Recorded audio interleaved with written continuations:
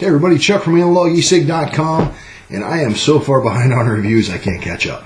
Uh, today is Saturday. I had a, the first Saturday off in like a month. Got up, had breakfast with my wife, ran around, did a bunch of car shopping. Got home. My wife had some running to do, so I am going to sit down and take care of some well-needed reviews. The first product I'm going to talk about is the Raze RCC. Now, this came in the RCC kit. Now, let's back up.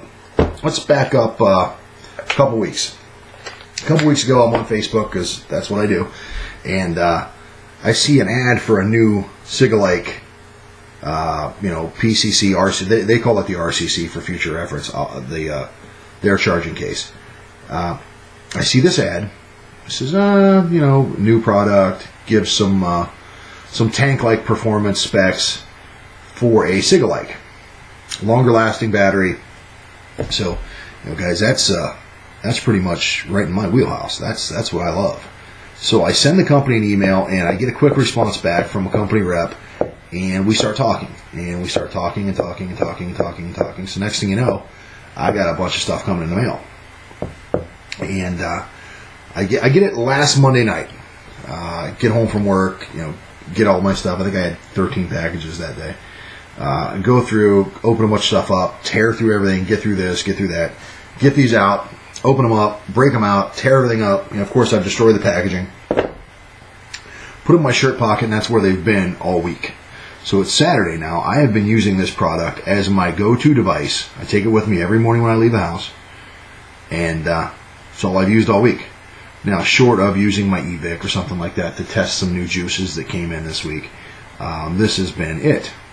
This is a cute little guy, isn't it? I'll use a standard stale cigarette for comparison. So it's a little bigger than a cig, but yeah, whatever.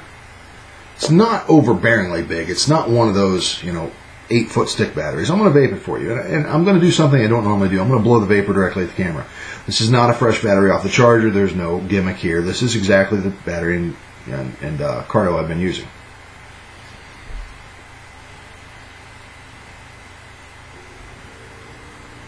Now, if you've watched any of my videos, you know I primer puff everything, so it's, it's nothing against this product. I can give you a, I call it the reviewer puff. Hold on.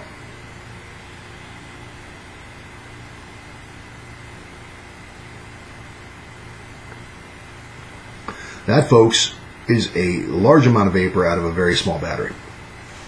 So, let's let's get you there technically on how they make it happen. And this is this is not a new idea, but uh, mid 2013, three friends are together talking about e-cigs, and you know this one's junk, that one's junk. This one lasts five minutes. This tank breaks and leaks liquid all over you. And I'm getting that one of the guys is a lot like me.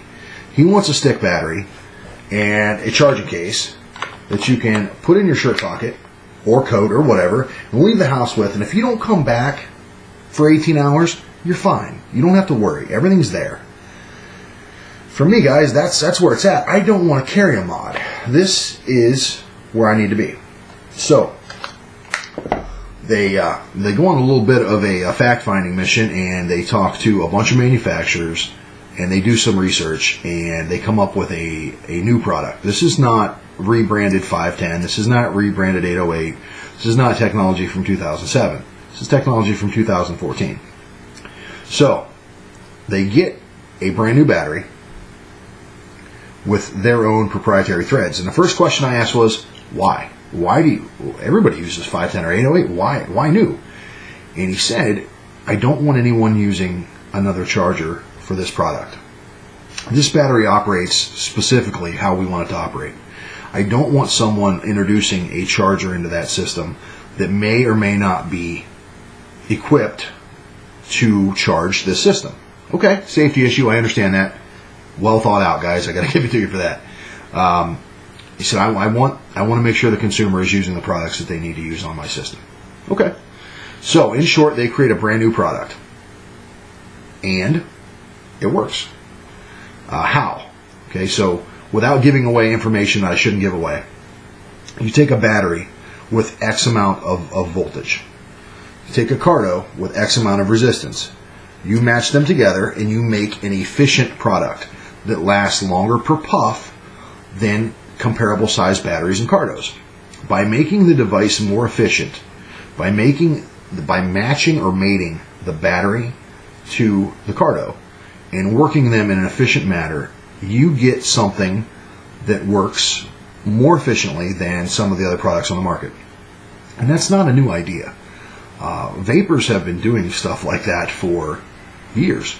You know, they say, well, if I, I should order some of this resistance cartos for my X device because I like the hit better, or I like the flavor better, or I like this. And it's all about the sweet spot. Okay, so they created the sweet spot for this battery and this Carto combo. It's fantastic. Uh, it vapes very well. I, I can't find uh, a whole lot of stuff wrong with it, to be honest with you. Now, the first thing I'm going to break down is the RCC, the charging case itself. Okay. In here, you have one assembled unit, which I will take out as I go. Okay, the assembled unit that I've been holding. You have one battery charging. No gimmick. It's it's actually the battery I was vaping this morning. It's on the charger. You have you actually have room for three cartos, but I'm only currently I only currently have two in there. I want to put my battery back on the charger. No no screwing involved there, folks. You just you just take it and pop them in. On the bottom, you have a battery charging indicator and a PCC indicator. Now that currently says my PCC has two bars left, and my and my battery is charging its third bar right now. So the battery's almost recharged, and I have my go-to kit, my e-cig. So I'm going to vape this. Now about the battery, this is a regulated battery. Okay.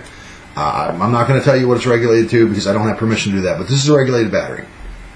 This is their battery, and I actually put these cartos in here upside down, if you can see that. Because I want to take said battery, put it on said carto, screw it on, pull it out. Yay. It's because I have these big Cro-Magnon fingers, and getting in here is sometimes tough for me if I'm driving or moving or whatever. So putting that carto in there upside down allows me easier access. It's not a company idea, it's just something I came up with. I'm going to vape it. Now, I just pulled this carto off.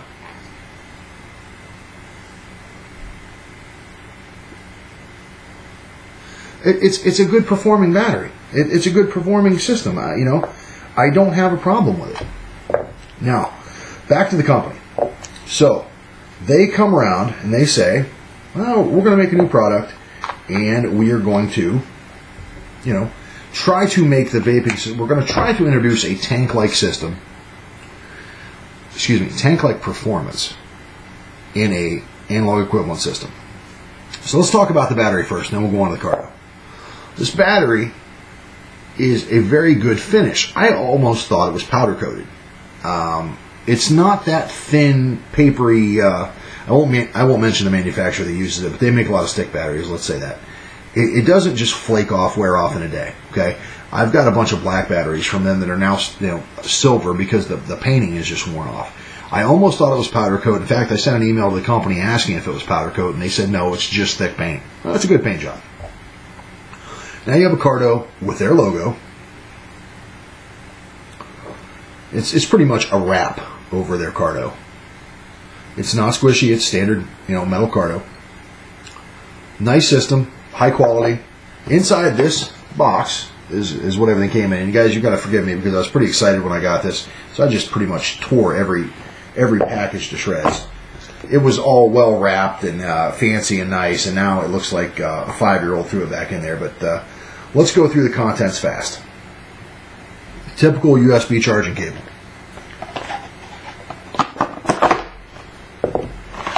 Product box.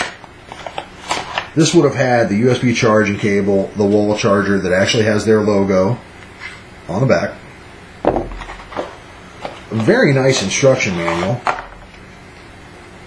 that uh, tells you a lot about the the, uh, the RCC, the starter kit, gives you the warnings about NIC, you know, how to use it, what it holds, you know, basic stuff. If you're a new vapor and you don't have the experience that uh, a lot of us have, this is a pretty useful useful item. Now I'll try to wedge a bunch of this stuff back in here.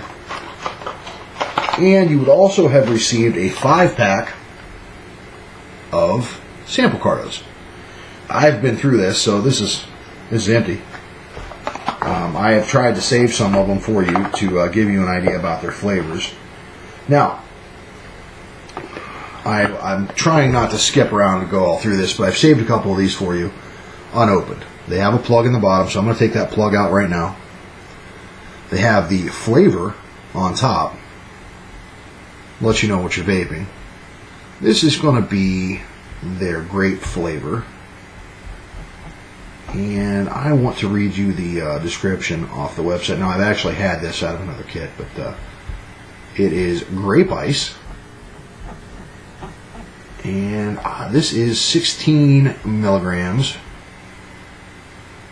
In fact, everything I got was 16 milligrams. I didn't get any of the zero. I didn't get any, you know.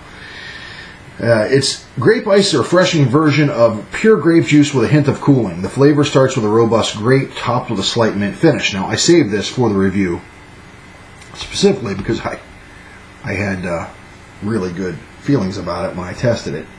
So I wanted to do it, you know, on the review. And I will screw this on my battery. This is no gimmick. This is, this is a fresh carto on this battery.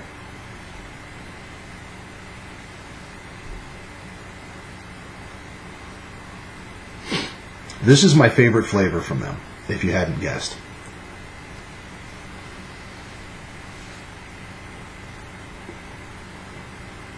And, and I'm, I'm breaking my rule because I don't normally blow vapor right at the camera.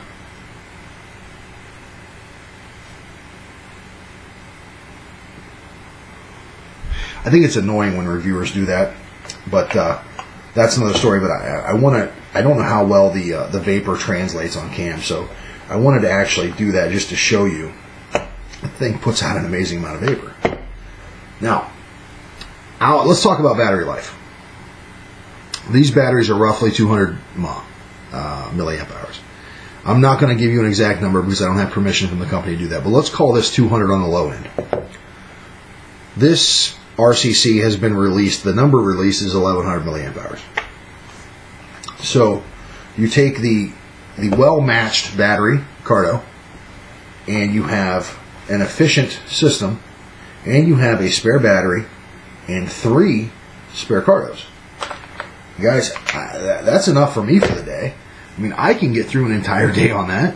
Uh, I can get through probably almost uh, probably almost two days on that. If I if I charged if I charged the case and had two charged batteries, and let's call it you know, three full cartos. I could get through two days on that. I mean, it, used to take me about a day to go through one of these. So that's no, you know, that's that's not a stretch, and it's definitely not a stretch for new vapor. Now, like I said, all this doesn't apply if you sit on uh, the couch or the chair all day and chain vape for 18 hours a day. That this this product is probably going to be a little bit light for you guys uh, because you're probably already using mods or building coils or clouds or, or whatever.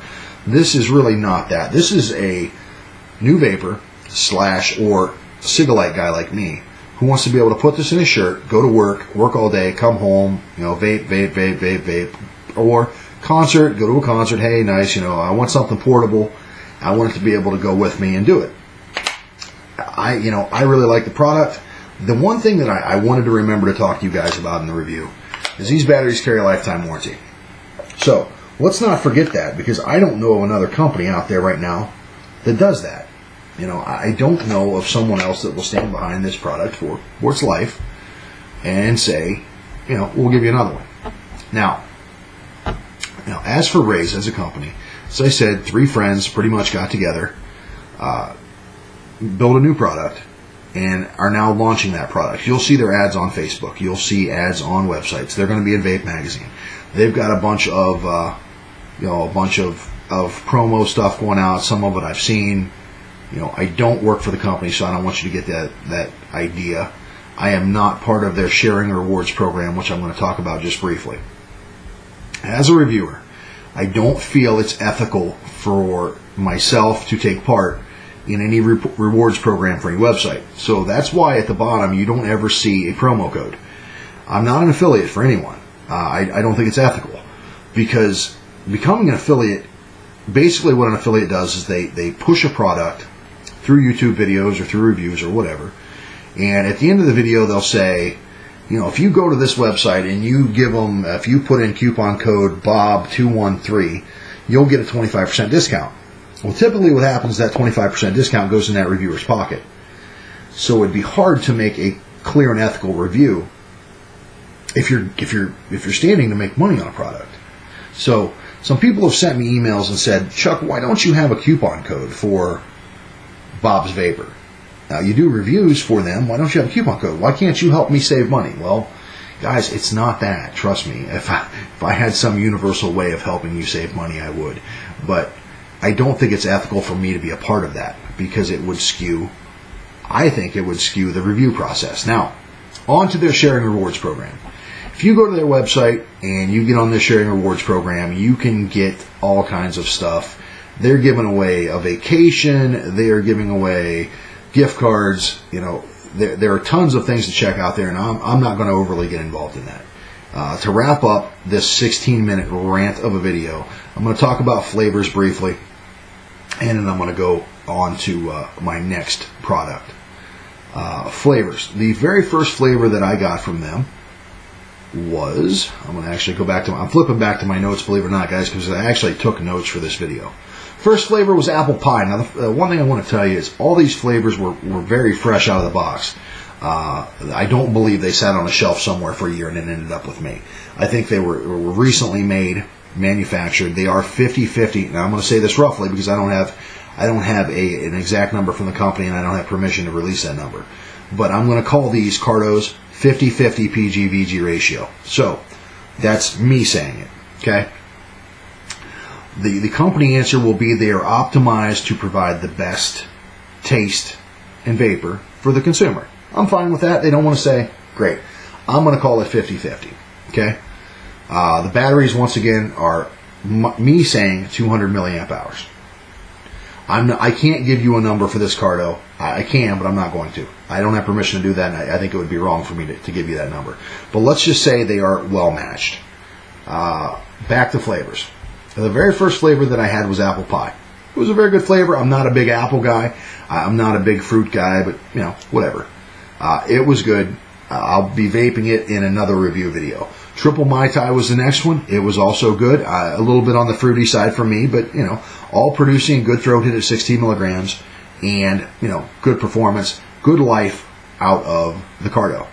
Third one was Crystal Mint. Crystal Mint's pretty much a standard menthol. Um, I liked it as well. I'm a menthol guy. I was a menthol smoker. And on to my favorite grape ice, which is what's on here now, which I will actually be ordering some of for myself. Now, according to the company, each Carto will last roughly 400 puffs. No one has ever defined exactly what a puff is. You know, I puff differently than a lot of people.